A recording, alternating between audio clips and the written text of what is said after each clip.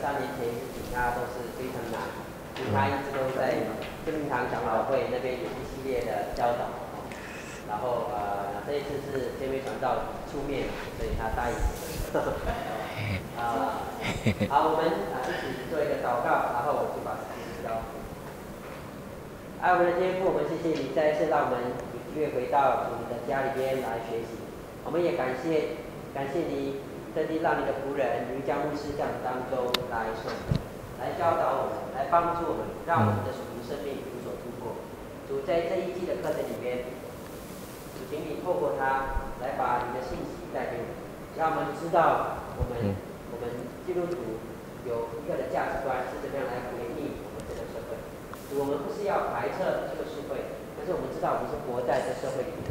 主主帮助我们，让我们也敏感于我们现有的。这个时代里边，怎么样跟时代有所对话，好让我们能在当中为主你做光做影，就是把你这一段的时间完全的放在我们心里边，让我们听到你的话语。我们把这些交托祷告，奉耶稣得胜的名。阿门。好，于江牧师也是我们长老大会的牧师，啊，大会的牧师，所以啊，那我想我不要介绍他太多，让他在这八次里边跟大家一起的分享里边，你们慢慢去认识。好，他是一个怎么样的一个牧师？好吧，我把时间交给 OK，交给我这个已经开了，嗯。也要想呃，在座的每一个呃主内弟兄姐妹啊，啊晚上好。我想我呃这个在呃，其实是我第一次来这里跟大家啊这样比较呃自由的、比较呃宽松的一个呃一个形式来分享。那我希望呢，这里呃在。这来临的差不多七八个星期里面呢，呃，我可以按我自己对于呃一些呃信徒的信仰，他所存在的价值信念啊，跟我自己在神学院里面所教的一些课程啊，特别尤其是呃牵涉到当代的社会呢，那么他面对的一些呃价值系统的改变呢，做一点点的那个思考跟分享，所以我给大家就是。定了这个题目啊，原本呢，这个本个整个课程里面是希望谈到基督徒价值观，但是呢，我稍微把它啊这个做了比较动态的解释。为什么呢？因为我说是当代基督徒价值观的冲击跟这个挑战。为什么是冲击跟挑战？因为我觉得你当你谈到价值观的时候，你不可能不不处理世世界的。你不可能不面对呃当今的一些社会的变迁，所以有时候社会变迁它会引起了人呢啊呃这个有不同的呃这个这个体会跟反应。同时呢，因为人的价值观改变了，它也会启动了这个社会的变迁呢，形成了不同的形式。我本身是在这个电视机旁长大的，但是我们的孩子是在电脑旁长大的。而我们以后的孙应该出世的时候，可能就是由 iPad 来照顾的，所以呢，它有不同的形式，但是它会带成带给我们呢不同的理解。今天的人上巴士不是打瞌睡，就是对着手机呢来看。以前的手机叫做手提，叫电话，电话是拿来听的。今天的电话不拿来听，拿来看的，你知道吗？对不对？因为今天看。看电话比听电话来的多，因为电话可能你就插了一条耳机，呃，一一个一个那个 earphone，但是你是看手机，手机的功能价值已经影响了我们上巴车的常态了，对不对？因为它跟我们打打交道人际关系是会有改变的，人与人之间越来越少沟通，为什么？因为你跟手机沟通多过你跟周遭的人点头打招呼了。所以有很多东西是你现代社会的改变，会影响了生活方式，也刺激了我们对于我们人与人之间的价值信念的那个取舍。同时，你的价值信念取舍有不同，也会塑造这个社会。所以，我觉得说当代社会的情况，也要我们做一些的思考跟解读。所以我希望呢，一方面我们基督徒能够处理我们的价值观。那另外一方面，我也希望说，我们处理我们的价值观，是因为我们活在当代。那么这一个呢，是我们双向的考虑，也是我们这个课程里面，我希望这样来思考的。那么，当我们说这个社会在变的时候，它才会造成价值观需要去调整、回应或者是应对它。价值观面对冲击跟挑战，其实它有一个假设，有一个前提，就是这个世界的改变啊，不必你批准的，你知道吗？基督徒你喜欢也好，你不喜欢也好，它不一定它的改变，当群众一起的拥戴跟认可的时候，它不一定会由你批准的，对不对？因为赌场建在你们附近啊，它不一定是由信徒群体做。做做考量的，当然我们有我们不走进去的理由，我们也有我们不参与跟不认同的立场，对吧？但是我们要面对的是，教会是活在社会里面，怎么样做中流砥柱也好，怎么样做光和盐也罢，我们需要有这双向的考虑。那但是当我们说它是一个挑战跟冲击的时候，意味着它并不是啊。就是呃呃，远在深山呢，它是近在眼前的一个情况，因为很多东西其实不知不觉在冲击我们，在呃挑挑战着我们。为什么呢？因为当社会变了之后，有时候变得跟你不一样，有时候变的呢，可能超过你所想象的呢，它就会再带来变迁以后呢，即变之后给我们的冲击跟啊给我们的这个挑战，那。当社社会的变迁如果不由我们考虑，它变的时候，它怎么的成为我们的冲击？有时候社会的变迁是我们价值信仰上有背道而驰的。赌场今天是合法的，没没有一个人认为看赌博是这么严重的事情啊，所以他不觉得赌博是罪，他可能觉得只是习惯好跟坏哎，小赌怡情哎，大赌。就不宜了。不过有时候我告诉你哈，任何输大钱的人都是从赢小钱开始的，对不对？没有赢过小钱，你怎么敢赌大？这是永远是一个赌场的逻辑跟规律了。为什么呢？因为赌场里面赢你进赢了小钱，才敢才敢放大的时候呢，其实是贪婪的本质来的。这个你不可以说跟基督徒信仰没有关呐。十诫里面没有讲你不可以赌啊，他只是告诉你你不可以贪呢。别人的财物不可以贪，非分之想你更加不能够贪，不可偷，不可盗，也不可贪呐。其实这个是基督教的神学跟哲学里面需要对赌场有我们的立场，说不是那个赌具的问题，凡事都可以赌，但是呢，赌的本质是对身心不利的，不可以说小赌就怡情呢，对不对？因为我们也有某一些的考虑。所以有很多东西会造成我们基督徒的冲击。那你做生意的，如果你老板说你带顾客去，今晚他想上去，你你走不进去吗？我们就会有价值观的冲突嘞。你不可以说顾客我带你进去，不过我到楼下你自己上，我在下面吃让豆腐，你赌完了才来才来找我。好，我在哪里等？你跟你跟着上吗？你的生意的抉择，你的思考定夺，有时候都有很多是。一切的冲击，因为他跟你背道而驰，他成为你的冲击啊。三七七 A 这几天很多人开始在讨论，对不对？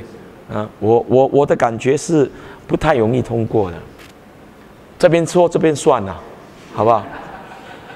理由是因为我觉得你一定要考虑，新加坡政府一定会考虑马来西亚跟印尼的感受，在回教国家里面。同性恋是非常严重的事情，对吧？所以，当他如果你新加坡敢真正的立法，你真的要千想万想才敢定那个法，没有改那个法本来就没事了。你改了那个法后，你两个国家，第一常常讲你是小以色列，第二就讲说你就是完全像西方嘛。西方人同性恋是西方社会的的的那个那个那个那个滑坡，它的堕落，它的那个情况。东方社会更回教社会不太可能，政治的考量我认为不可能的。但是呢，有时候我们整天去哇，写很多兴趣啊，你很容易造成啊那些同性恋人说歧视反同性恋，就剩下基督徒哎，明白意思吗？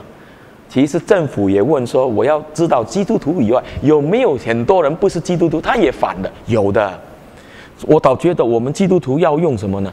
要用我们在民主国家，我们基督徒只有二十八仙呢，我们是弱势，不是强势。同性恋是他们说他们弱势被欺负，他们要合法化。我们二十八仙也是弱势，你要保护我们不喜欢同性恋人弱势的这个这个保权利嘞？因为我们二十八仙人是怕的，那么怎么办呢？那么把我们的弱势申请上去，不是强势的施压，是弱势申请说哈，可以不可以把弱势变成我们的优势？我觉得这个态度反而是不会造成族群的决裂，反而可以更能说，任何弱势你都要尊重，我们也可以嘛，对吗？所以我觉得这个事情里面，当然很多人说啊，基督徒也赞成同性恋，我这个人是比较你呢，呃，比较保守一点，因为我没有什么答案跟理由。不过我有时候看的那个《非诚勿扰》，没有？那葛优讲，他第一个交女朋友，那个女朋友来自他的老同学，是男的。他说我是要找找找对象。他说是啊，我就是。他说我不是找找男的。他说你有种族，你有性别歧视。他说没有没有没有。他说你，他说我我我就是没有没有这样的兴趣。他说你没有试过，你怎么知道？像那葛优讲一句话，说我我这个人不好了，好不好？我是比较软弱。我这个人是蛮心蛮好的，不能软弱。就是我整个心胸这样大，就是装不下一个男人，的嘛？啊，他不是你的问题，是我的问题，好不好？我就是装不下一个男。那所以，有时候人家问我你是同性恋对不对？圣经有一些的立场，有一些的决定，上的上帝形象里面啊，是男女有别的性别的问题。同性恋可能有同性恋里面的，并他的那个那个成长的空间里面有很多的呃奇奇形，或者是跟一般人不一样。但是呢，如果你问我，我可能是说。是了，你说我不赞成，我我要找十个八个理由给你才这样吗？是有时候我们的感受就是就是里面装不下一个男人，你知道吗？对吧？或者有的人他不赞成。那么从这个角度来讲，有些时候基督徒的价值观判断跟你实践的时候，在多元社会要有取舍。社会是造成我们冲击，因为它有时候是背道而驰的。安乐死可以吗？我们说安乐死，人都会一死，死让他死得好死，好终命呢。那个英文叫 mercy killing，它不是 killing，它是 mercy 的 merciful killing 本身呢是安乐死里面啊。有有一天他考虑合法化跟器官移植可以，安乐死可以的时候，它也造成我们对死亡的理解跟死亡的善终本身呢是有很多的我们要考虑取舍，这是价值观的问题。因为它冲击我们的今天的广告里面，它有很多东西跟我们想广告是注销了，但是有一些东西我我到现在为止我不喜欢一个广告，那我希望那些人不要来找我哈。就是我我我看到每次看到那些当店有明星打广告，我很不舒服了。当铺啊，当铺有有明星在打广，你知道吗？当铺是我小时候我们那我们是穷，我们小时候很穷啊。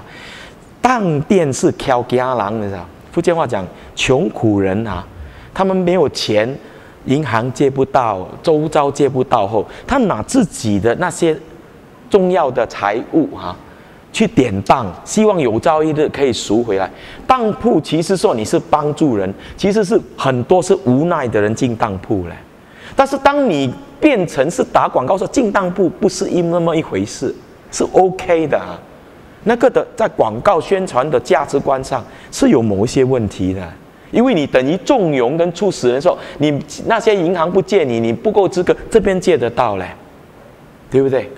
它会造成很多的很这种广告本身，比如死人的广告是不可以常常打的，所以很多的殡仪馆它不会随随便便到处打广告。你们有没有人要死的？可不可以快点死？不可以这样的，因为生老病死里面有一些是价值观上。是华人文化的避忌，对不对？那么我觉得，诶，这个世界变了嘞，当好像是 OK 的。那么赌的人多，进当铺的也多，你知道吗？这些都有连锁关系。我们有一堂谈到消费社会，我可能会跟大家稍微思考一下消费社会的逻辑。但是这就是说，社会里面有很多东西，他把广告。这一种的行销合理性的来注销的时候，我们基督徒也要想呢，对不对？广告的实宜性跟它的价值意义是在哪里？有一些东西是不可以打广告的，是吧？有一些东西呢，它广告也要有它的权益，也有它的道德价值的考虑。就是社会有时候冲击我们，它跟我们有背道而驰，它造成了我们的冲击。社会也有时候的变化，造成我们价值观上什么呢？它成为我们的一种 challenge 挑战呢？为什么挑战呢？因为有时候社会它做的比你好嘞，做的比你好。我们说阿门的时候，会不会基督教？跟别人做的一样，还不比别人好的时候啊，你也被牵引着走，被带着走。你社会跟着走的东西，如果是没错的，他做的比你好，基督教就没有特色了。你明白吗？因为你做的我也有，而我做的还比你好的话，那么你基督徒在光跟盐上呢，你可能就不一定有说服力。所以社会有时候会成为你的挑战。为什么？因为他不一定做坏，他可能做的比你比你强呢。而他他的引导的方式，如果是比你更有效呢，你可能变成是世俗化跟着他走，他不一定是跟你背道而驰哦，他可以把你转成什么呢？他带动你呢，有时候你会不知不觉俗化掉了。今天很多的人，当他们要宣导教育的时候啊，一定要找有头有脸的，是什么明星哎，因为有号召力。找一些比较啊，呃呃，有有有知名度的人呢，成为什么呢？成为宣导的号召力，广告行销之外，宣导有时候也找名人比较容易嘞。你基督教难道不是因为有很多明星信主哈，他来做见证，比较多人来参加吗？对不对？那么你说为什么？因为他在世上啊跑得比我们快，收的人比我们多。感谢主，有一两个基督徒明星、基督徒歌星哦，他来布道会也比较多人来嘛。那你连那牧师的照片上去，可能就没有几个人来了，对不对？哦，你说那个商人基督徒来有没有啊？如果你是什么巴菲尔啦，是如果你是那个呃这个呃 Bill Gates 信主的哈，一定很多人来听嘛，对不对？因为他们可能讲到听完了，可能还有一个免费的 software 可以拿回去，也不一定。对啊，那你基督徒就牧师讲完了，最多嘛送你一本圣经，因为信主而已嘛。但你久了，你是说我们不要放弃我们的信仰的立场，不过要放一两个在前面的嘞。最糟是你每次放一两个在前面的哦，听完了哦，剩下的他就不听呢，对吗？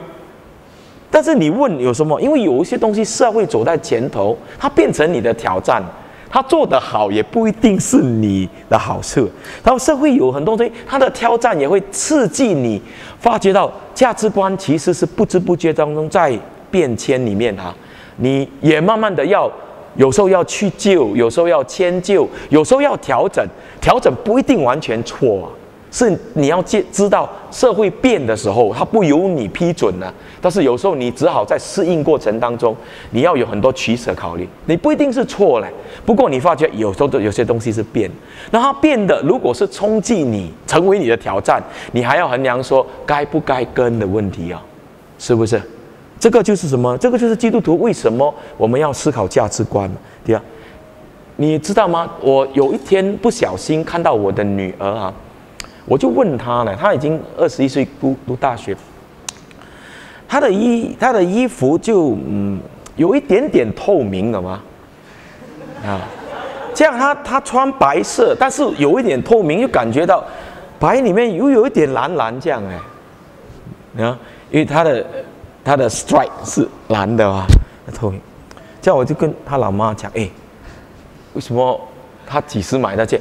他妈说：“你常常迟回吗？你就是看你的羊，忘记看你的女儿哦。”他他他没，他买很久了。我说是这样吗？我才恍然大悟了。那我就开始去研究，说为什么会这样呢？因为大家都接受了嘞。你我就问呢，为什么会你啊？其实，在现代很多年轻人呐，他没有我稍微比较 R A 一点讲，现在的年轻人呢，他没有。内衣内裤的感的的这样的观念呢，他只有穿两件衣两件裤的感觉，明白意思吗？我只是穿里面那一件跟外面这件是两件衣嘞，因为可以配的，你知道吗？我们以前啊，就有一些时候太太啊，这个掉出来一点点就哎，啊，现在不是这样的，现在的是说哦，它黑的哦，这个拉出来因为是红的，远看就美啊，你知道吗？但我们就是说，我是电视机旁长大，就怪怪的感觉咯，对不对？那么你的裤这样低啊，低不是低腰嘞，低骨呢？那你的两件它 OK 嘛？你吗？那你我就说，哎，会不会是他们没有，他没有内衣外衣？内衣是不好意思，自己是取暖，是是是是卫生的。他是说我是穿两件衣嘞，两件一起穿，两件都有不同的配搭嘞，那你可以接受吗？明白意思吗？你接受也好，不接受也好，你满街都是哎。那么你说，因为他们只是穿两件衣啊，好吧？啊，以前我去百货公司，我不能够接受说哦，为什么百货公司可以整间店卖拖鞋的？你没有听过？拖鞋只可以在杂货店卖嘛？那只知道，现在百货公司可以卖拖鞋嘞，而且每一双三四十块的哦，是名牌的那个、那个、那个、那个。那个什么，那个呃名牌的拖鞋，你看，我们也在大活在社会当中，对不对？为什么呢？因为它有价值观上，现代人有不同的理解嘞。现在是 T 恤文化的，对不对？那我我没有说他不对嘞，他也没有做坏事啊，对不对？他卖拖鞋也不一定，但是你又问，哎，的的确确是社会改了，你知道吗？所以有很多东西哈，它也冲击你的思考、你的思维嘞。那么，如果来到一些很极端的东西，不一定你基督徒有一些价值观是可以放的，对不对？你不能够接受同性恋是合法，你不一定能够觉得赌是对的，可以，你不一定觉得呃有很多东西是可以，你这边不能够死去外国去安乐死的，对不对？有很多东西，我们还要经过很多的呃价值观的审核判断才决定。所以呢，社会可以给我们挑战，可以给我们冲击。有时候背道而驰，我们要回应；有时候呢，它成为我们带那个带那个带着潮流走的时候，你又要懂得有分辨。你不一定跟得上他，你因为没有说服力。因此没有说服力，你跟得上他，会不会你被同化世俗化？那么到底我们的思想价值观怎么去拿捏，对不对？有很多东西是非常相对的，它不一定是牵涉到啊很绝对的罪的问题，但是它的的确确在改，它改它会造成教会整体来讲呢，会有很多的。那个价值观多元后，造成人与人之间思想观念这边就会有隔阂，对不对？看电视机的人跟看电脑的人是不同的，是不是？那么看电影的哈，到今天看 DVD、VCD，他的生活方式也不同了，所以我们需要学会。怎么样的来看待我们的价值观？这是我在这一个课堂里面呢，希望跟大家能够呃一起来思想学习。所以我的学习里面每一堂，我希望，当然我们等一下有休息时间，我知道说我们一半休息时间，我们的每一堂里面，无论是休息前、休息后，我希望我都能够涉猎到说，基督徒怎么样建立他的价值观，对不对？第二方面是基督徒要怎么样解读这个社会。有一些变迁价值里面，它带来我给我们的冲击，对不对？有一些东西你跟他讲阿门是可以的，有一些东西你可能是说他跟我不一样，他也不一定是我的敌人，他可能是我的邻舍，对不对？我们可以有价值观的对话。有一些东西你是说你可以有你的决定，我可以有我的见证，那么我们就变成什么？我们要有某一种分别为圣跟光跟盐的角色。对不对？不，纵使你在黑暗，光还是要照；纵使你的呃你的呃生活品味、你的价值信念不对，我的盐还是希望能够啊呃可以呢呃转化你的那个你的你的你的那个饮食，对不对？所以这个是我们的一个态度。所以我希望呢，在这里这一个八个星期里面，我们可以做一点点的思考，任何议题都可以是价值观的思考。好不好？然后今天可能我会先稍微跟大家比较在理论上说，呃，我们怎么样看待价值观，然后我们怎么样看待基督徒的价值观？没有做基督徒也有价值观的嘛，对吗？怎么样看待价值观是一个普世的、放诸四海，好都可以有的这个大家的共识。然后呢，价值观会有不同，因为它有很多的取舍，很多的不不同。那基督徒价值观可以是某一种价值观呢，但是它有它的独特性，因为它可能有真理的层面，它可能有上帝那个爱的。那个、那个、那个、那个层面，它有教会的信徒、信条、教义上的一些宣导，对吧？所以这些东西我们都要考虑。所以我希望呢，今天我们从比较可能有一点理论性，好不好？从呃基督呃从价值观的看法，然后来到呢基督徒的价值观，然后我们说为什么一种米养百种人，一本圣经产生出来，每一个信徒的理解都不一样。啊，那么那个呢，就是说，当我们在牧养弟兄姐妹，我们在弟兄姐妹的人际关系上呢，我们要知道，其实大家的价值观都有同样的一信一喜一主，不过我们有时候在思想东西的时候会是不同。那么，因为彼此多一点的了解，我们多一点的。同情共感，我们就在沟通上呢，会比比较能够怎么样呢？有互通的了解呢，我们的分析批判呢，就会比较的呃合情合理、折中一点，好不好？我想大概这个是我希望呃我能够每一个星期四来这里的时候呢，跟大家做一点这样的分享。我讲到这里有没有问题？我的速度可以对吗？可以，都都清楚的。所以我想，我们就这样的，呃的的的来思考一下。那还没有跟大家谈这个观念上的时候，我这里呢有列下来，在你们第二面的后面哈，我有写这个恩泽堂里面。今天我们可能谈价值观，在理论上、方法跟意义、跟它的功能、跟它的运作，好不好？它的养成。那么再下来呢，我给大家列了一些。那这些并不一定是你们啊，就就就说啊，这些都都都。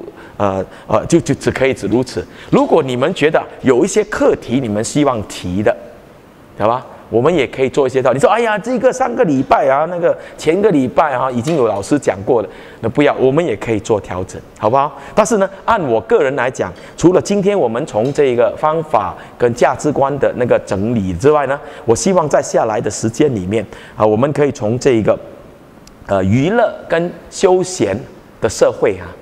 来思考一下，现当代的社会里面，好，它所引起的哪一些东西变迁？我们基督徒怎么样看待休闲娱乐的时候呢？啊，也认识解读我们的社会，同时认识我们基督徒在吃喝玩乐里面呢，我们怎么样的有比较合乎中道的地方？圣经里面有没有给我们某一些的那个呃指导性的提示跟指标？好，那么我们也可能会啊，在第三个礼拜谈到就是关于消费社会，好不好？今天没有消费，好像是欠了人的感觉。你礼拜天出门回家没有买东西回来，好像是不是有什么问题？有的人出门一定要买回东东西东西回来了，因为一定要血拼一下，没有买好像对不起自己了。那这个可能是消费社会的模式，政府也没有反对啊。每一年六月到八月都是 Great Singapore Sales。然后我们要怎么样看这种社会？你是不是你的孩子啊？iPad、iPad、iPad、iPad、Pad 这样呢？那么一直下去的话，社会是不是有一些东西我们要注意？那工作跟侍奉跟安息的问题，这个也是重要的一个课题。就是说，今天的人有时候做哈，做到很迟啊，哦，很迟才来。我不是讲你啊，我是做到很，刚好碰碰碰巧，希望不要不要有一个误会说。我，我是突然看到说，当然可能他不是工作啦，可能不是工作，就是说，有些时候我们今天的人没有没有九点到五点的，对不对？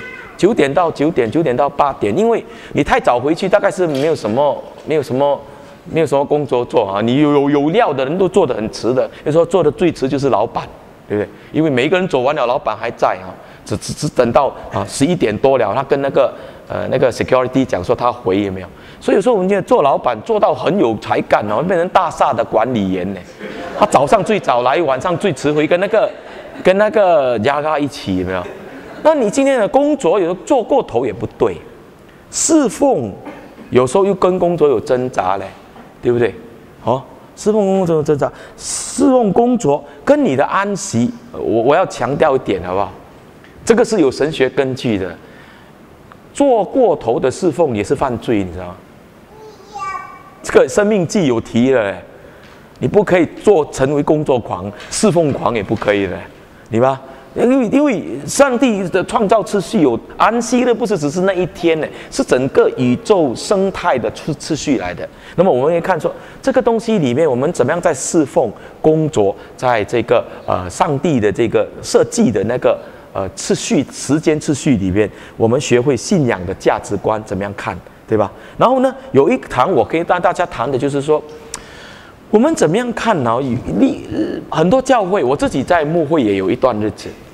人每次到了一个年纪，到了一个时段，到了一个时候，他一定会跟他讲：“我觉得我很累哎，我觉得我我侍奉到很干，有没有？很孤，很很 break down，有没有？我很我很 down，很 burn 这样啊。我们我有时候会会累的。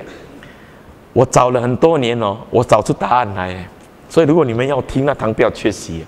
我明白为什么一个人啊，他一定会做到一个时间哦。”他会跟你有一天会跟你讲很累的，他为什么信主的时候这样兴奋你们？他有一天就会跟你讲，他又不是坏人呢。他会来的时候，我一直在想想想想，我就后来有一天在圣道那边，我跟他讲说，我试试看讲那个。后来有一些共鸣啊，圣道基督教会，我跟他讲到，他有共鸣了，然后就说，我明白那个人哦侍奉的逻辑次序，对吗？所以每次我知道那些人哦，他讲说，他有一天他要来讲，我很干很累的时候，我等你来。因为我已经预备好，我等你来。我知道大概是怎么样，我不一定说我有答案。不过我们认识我们自己之后啊，我们就懂得我们侍奉的周期呀，跟我们知道有时候波浪是低的时候，我们要怎么样迎迎浪啊？真我们乘风破浪的时候，我们不要冲昏头脑了。那么侍奉里面会有起落，你看。那么我今天你到现在已经侍奉了二十二十多年，啊，二三十年，也不到三十吧。但是呢，如果你问我，假设人生如果有下半辈子是重新被呼召啊，I don't mind to be a pastor。你啊，我我我不介意。我甚至今天我跟你讲，如果我的儿子有一天说哈，他有一个感动，他要全世界，你说啊，你全世界，我已经全世界了，你，哎，有有很多人呢，他很不希望他的孩子全世界的，因为我已经够惨了，你还要跟我一样。对吗？因为你侍奉会有起落嘞，但是我觉得 OK 的，我不敢讲很好嘞，不要讲它太大声。我觉得 OK 的，侍奉是一种的招命。侍奉有时候会有低潮，我也有低过，对不对？是吧？所以呢，我低的时候叫老婆说：“你做枕头给我靠也可以。”女孩子靠男的，男人有时候也要需要师师母啊，你给我靠一下。但是走靠完了，醒来还要走了。所以侍奉有时候会有一些瓶颈的，甚至我要告诉你一个，圣经里面耶稣有灵性低潮，你听过吗？啊，你下次你听就知道了。没有，但是耶稣可以刚强壮胆，这个是耶稣基督的。生命样式里面，再下来我们要谈，有时候侍奉工作社会哈，不是社会的错，不是工作侍奉错，是说，是你的问题啦。大家都没有讲你不好，你听两句你就受伤害这样呀？那讲两句你又这样，可能不一定这样严重。不过我们自我形象啊，上帝是希望你有好的形象的，上帝希望你就是在苦还可以有开心啊。有时候价值观也会因为你的生命的形象，你对于那些东西没有认定、没有认同啊，产生的偏差的，对吧？所以呢，我们也会有一堂里面是属灵自我价值观的建构，怎么样跟神、跟人、跟我们自己呢能够建构？然后第七个是我这几这坦白说，我一直在学神学院教我都要自己 upgrade 自己。我最近在研究一个成瘾的问题。懂吧？就是我发觉，不是毒才会有毒瘾，烟也可以有烟瘾，喝酒也可以有酒瘾，对不对？网络，中国最大的瘾是网络的瘾，网络可以有网络的游戏的瘾，也可以有情色的瘾，你知道吗？任何东西都可以成瘾。所以有一天我有点害怕，我因为我买很多书看呢，我突然跟我老婆讲，我会不会有书瘾呀？会不会读属灵书读多也变成书瘾这样呀？后来我问了，瘾是不好的，瘾是会吸引你的，但是我们怎么样看人会成瘾？赌博变成毒瘾，倾家荡产了，控制不了的，你知道？就是放了告示，你就一定要想办法进去，那个身不由己的。毒是因为它侵占肉体啊，但是人有很多都可以成瘾的嘞，是吧？shopping 啊，也可以血拼到啊，没有走出去，他觉得好像生病的感觉，他一定要出去啊，买的东西才会呼吸到新鲜空气。那会不会人也有成瘾的东西？是我们要需要考，我就一贯的来看，是说在人的罪性生命里面，为什么有瘾的问题啊？好不好？那么这个也是它影响我们对东西的拿捏，跟你知道哪一些是价值观，以至于你对东西不会成瘾啊。我觉得，然后最后呢，当然我们要从基督徒、平信徒，好也好，我们牧者，在一个后现代的社会，今天已经不是现代，是后现代的社会，我们的灵命成长。跟神、跟人、跟侍奉、跟你的家庭、跟你自己呢，我们把它通盘的说，基督徒基本的要素是什么？好不好？那个是一个比较总瓜的来看基督徒的价值观。那么我希望这个是我跟大家一起在让这样思考的东西，好不好？好，我说讲到这里有没有什么问题？那这是我们呃要的。那么，如果你上休息或者上会，你说牧师，我觉得有一个课题很重要的，那你可以帮我嘞，因为使到我可以有一些东西再去研究，再去思考，对吧？再去再去再去理理解它。我觉得这个是大家互相的那个呃一个一个主类的一个一个彼此的交流，好不好？好。那如果没有什么问题，可能我们今天就要进入说比较从方法论跟架构来看。那当你讲架。那个学习的架，这个基目标大概就是刚才我哈啊比较叙述的解释的那三点，对吧？好，就是我希望我们对社会环境有理解、有回应；我们对人、对事、对物有整全的思考，灵命深度，希望我们能够思考多一点，能够有开发。价值观上呢，可以其实是可以帮助我们成熟，灵命可以成长。这个是刚才我们稍微提说社会环境的那个情况后，我们能够这样的一种好啊达到学习的目的。那今天呢，我们就可能开始就是说，我们怎么样的来看待价值观呢？我们怎么样看待价值观？其实是会改变的，对吧？啊，那当我们谈到价值观，很基本的在理论上啊，我给它设定了这样的一种的呃界定，一种的呃呃 definition，一种的界定，是说，其实价值观是主客啊互动的，就是主主主体、客体、主观、客观互动后哈，一种判断的思考嘞。你想过后哈，不是想。知道了就是的，知道后你要判断的嘞，是不是？有时候是价值观是说，因为你判断的时候，你觉得这样做比较对，还是那样做比较对？不是你没有想过，想过后哈，价值是因为你思考过、衡量过后啊，你做一种判断。所以价值观其实是一种判断的思想来的，是主客。为什么呢？因为当你讲价，有时候讲这个多少钱，这个价价钱是一百，你觉得不值嘞？因为你的主观感觉到一百不应该买嘞，对不对？这一本书一百便宜哦，为什么呢？因为它超过你所物有所值，是你感觉到它很值得。你所以价值观有些东西是东西大家公认的一些看法，不过你呢就有你自己的判断。所以价值观是什么？主客观的判断。所以东西有时候外在有价，但是你个人觉得值不值，就是一个判断的过程嘛。对不对？你觉得值你就买嘛，因为你觉得这样过头了，你就不买；你觉得太便宜的，你就大买特买，对不对？因为你赚到。所以价值观其实是主客的一个判断。那么对于思想精神来讲，人与人之间啊，最高的三个价值观是什么呢？真善美，对不对？人生里面人事问题。人跟神的问题也好，人跟人的问题，人作为人活着，他有判断。里面什么东西是人生最高的判断呢？就是东西是不是真实的，对不对？真善美呢？从思想来讲，是最高的一个判决的命题，或者是最高的一个价值标准。那因为真呢是什么呢？真的反面是伪嘞，对不对？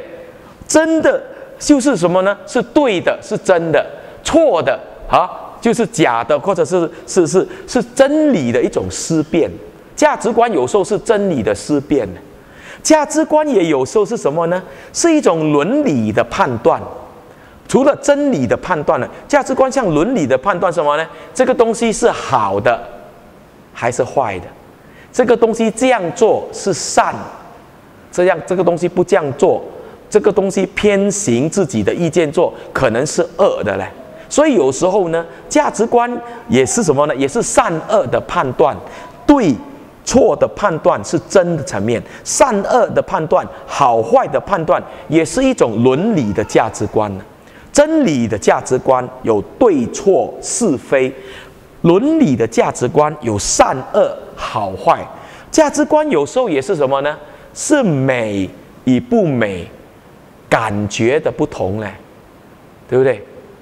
价值观豁豁达的人，他看东西里面呢，好就看得比较呃温和，比较贴心，对不对？人如果比较小气巴拉，他看东西就斤斤计较，那么那个人就啊做人为碎，对吧？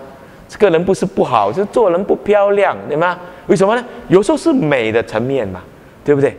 上帝跟我们啊的灵修啊是一个美的。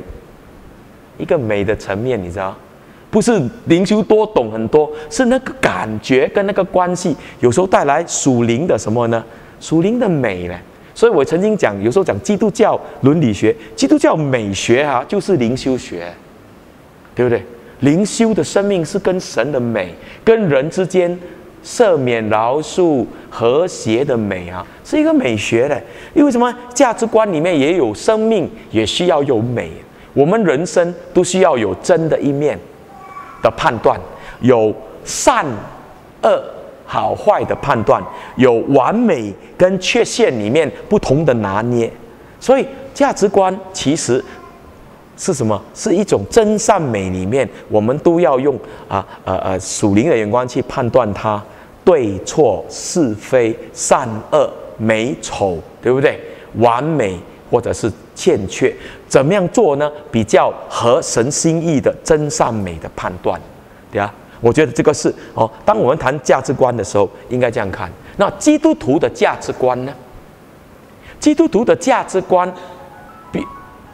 别人也有，不好意思，这个是他要告诉我，等下要给你们休息了，啊，因为他是我的秘书，这个不是人呢，他是说九点五十一分了。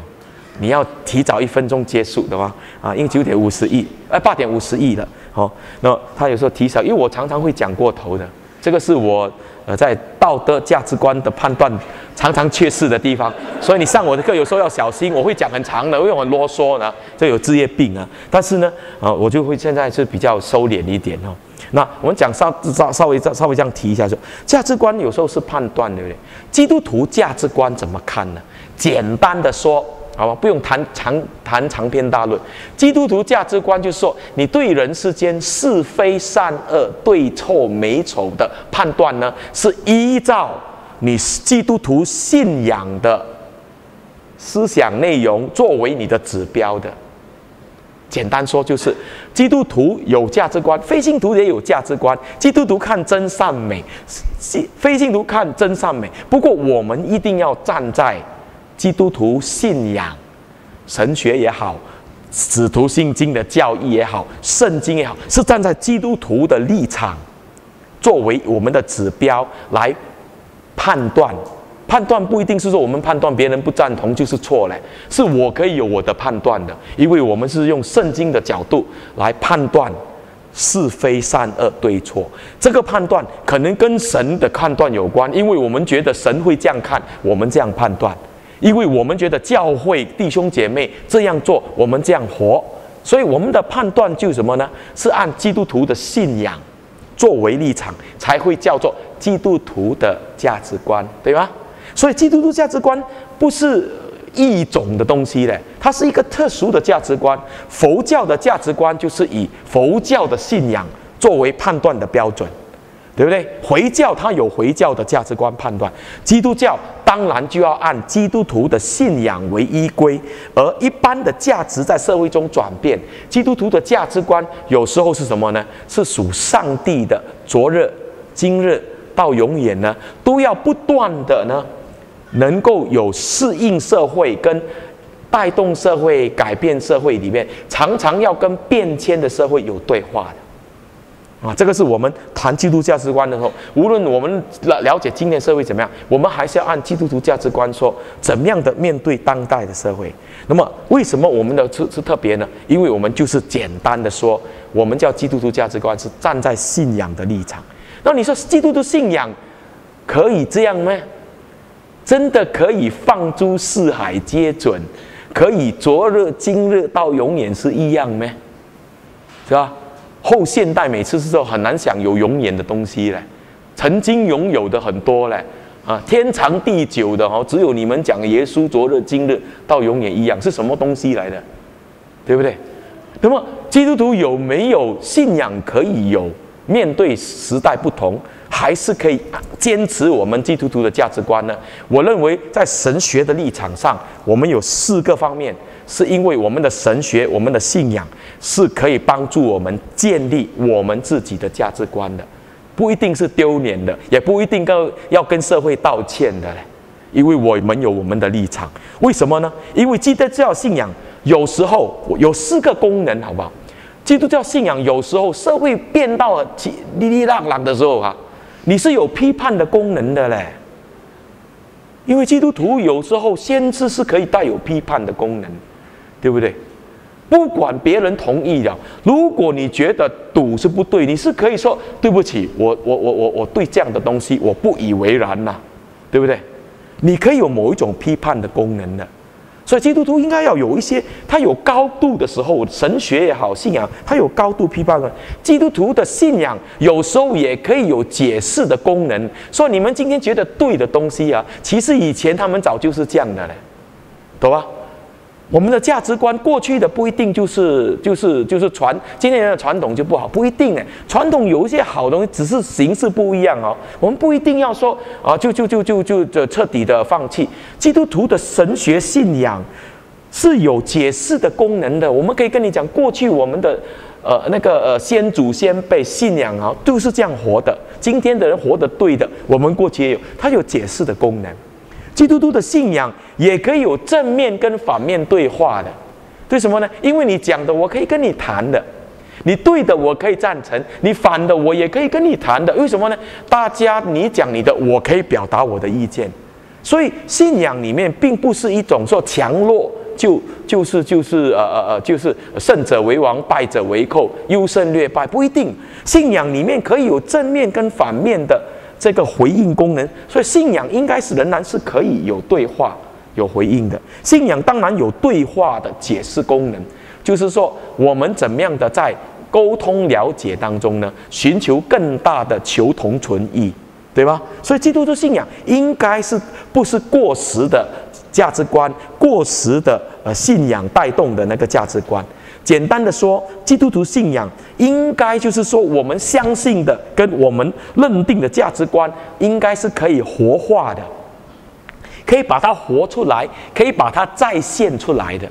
好，这个呢，就因为这样，今天坚持信耶稣、相信基督的价值观是，是什么？是生命的丰盛。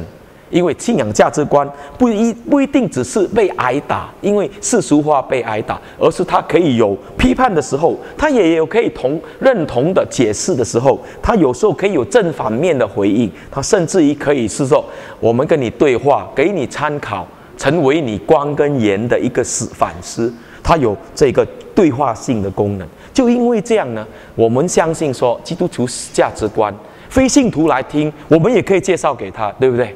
因为你可以参考啦，是不是人可以这样活？你觉得有意义了？因为你有价值观，我也有价值观，我们可以参考，可以在生活里面，我们可以这样落实，是因为我们相信上帝给的价值观，通过信仰的落实呢，是可以有它丰盛的一面，对啊。那么因为这个原因，我们谈基督教价值观的时候，也要牵涉信仰，牵涉社会，好不好？那所以呢？简单的，我只有一句话，因为我不想掏太多神学。那我们的神学，我们的信仰里面，我们的价值观立根在什么呢？就是第一面的最后一句，信仰的价值观是确立在什么？不是人呢？我们的信仰不是在人，是在什么呢？是在上帝吗？阿拉也叫上帝，你知道吗？啊，旧约的的犹太教的耶和华也叫上帝。我们的上帝哈，不是另外一个了，是唯一的一个，好吧？却是三位一体啊的上帝。对世界呢，给世界的价值观是什么呢？是有救赎性的，是有创造性的，是有更新的基础的价值观。为什么？上帝是创造主，他就可以说人这样活，我可以创造新的东西出来，我可以缔造新的。借助教会来讲，上帝是。道成肉身的基督是上帝本身化身为人，他就有大家都要做好人里面，基督徒的价值观里面是说，是你要学会被救赎，才可以成为新造的人，他就有救赎性。基督徒的信仰里面，他除了有父有子，他有圣灵呢，是说同样你知道的价值观，今天你被更新后呢，你会有不同的取舍。